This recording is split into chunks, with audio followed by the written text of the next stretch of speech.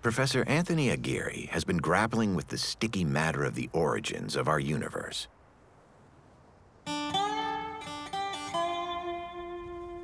And his attempts to find answers lead to a completely different sort of multiverse.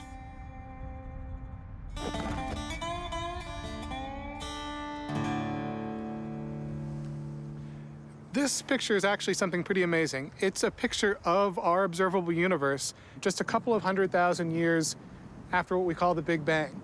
And it's a picture that's been taken in what's called the cosmic microwave background radiation. This is radiation that's come to us to telescopes like this one and, and many others since. And it gives us an actual image of what the state of the universe was like at incredibly early times. The image that depicts both the edge of the universe and the earliest light we can see revealed that all the matter in the universe, all the stars, and all the galaxies were very evenly distributed. It suggested that something happened to make it that way. And that something is a process called inflation.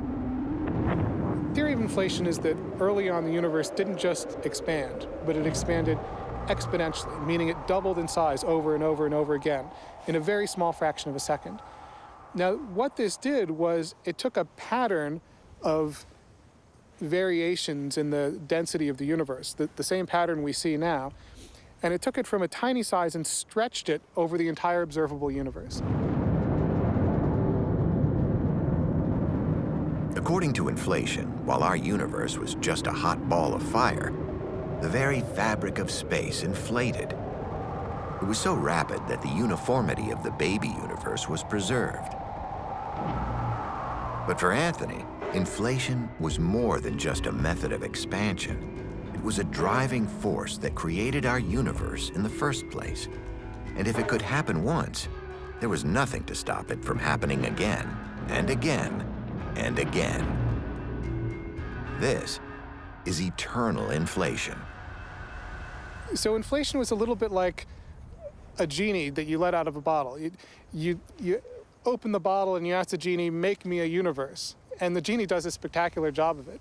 But then the genie says, well, I'm going to make another universe. Well, wait a minute, I just wanted one. No, I'm going to make 10 more universes. No, I just wanted one. I'm going to make an infinite number of universes. And that's what we're talking about with eternal inflation. The, once the genie gets out of the bottle, it just never stops. So asking two simple questions have, for different reasons, led to the same conclusion. What we see when we look up at the night sky is just a tiny fraction of the story of our existence.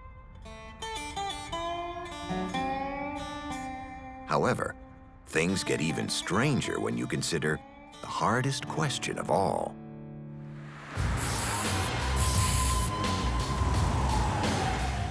How does the universe actually work?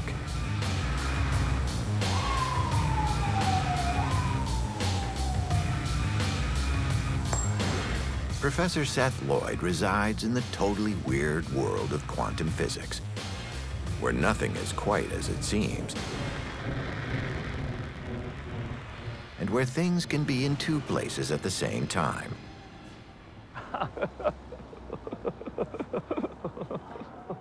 the important thing to remember about quantum mechanics is it's weird. Silly, silly, stop, stop, stop, stop.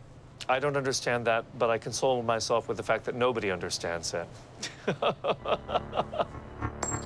it was from an attempt to make sense of this strange quantum world that the idea of many universes was born.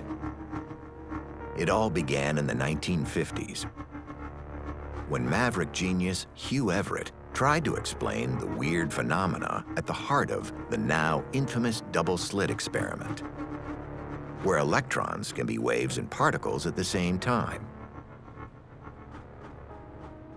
The famous double-slit experiment in quantum mechanics, where a beam of electrons go through space and then they go through two slits. Now, the wave goes through both slits at once, and on the far side, the wave interferes with itself and then hits a screen and makes an interference pattern Now you might say, oh, come on, like there's lots of electrons, like, oh, so the electrons have waves, big deal. But in fact, if you attenuate this beam of electrons, so there's only one electron going through at a time, you still see this interference pattern, even though there's only one electron. So the wave for one electron goes through both slits at once, ends up on the screen, interferes, and makes this pattern. In the experiment, when single electrons are fired through two slits, you'd expect them to create two vertical stripes on the screen behind. But in fact, they mysteriously create three. The pattern is only possible if the individual electrons behave as waves, passing through both slits at the same time. It's completely counterintuitive and simply doesn't make sense. The trouble is, it seems to be true. It's a problem that even the finest minds in physics have battled with. Actually, there's a lot of resistance to quantum mechanics. The most famous resistor of quantum mechanics was Einstein, who famously got his, his Nobel Prize for work he did on quantum mechanics. But he nonetheless didn't like it. God doesn't play dice, he said. But he was wrong. Suck it up, Albert. And like Einstein, Hugh Everett was also unhappy with the existing interpretation of the experiment. And so, he came up with a radical new theory. In the mid-20th century, Hugh Everett came up with what he originally called the many worlds theory of quantum mechanics. So the idea here is that when you make a measurement of a particle that's here and there at the same time, and you find the particle over here, then there's a you which finds the particle over here in this world, but at the same time, there's another world over there where there another you has found the particle over there. And both of these worlds are equally real. Hugh Everett's big idea was that at the point when the particle can go through one slit or the other, the universe literally splits in two. The particle goes through both slits at once, but it does so in two separate universes. It was both ingenious and terrifying, and at the same time, it seemed totally crazy.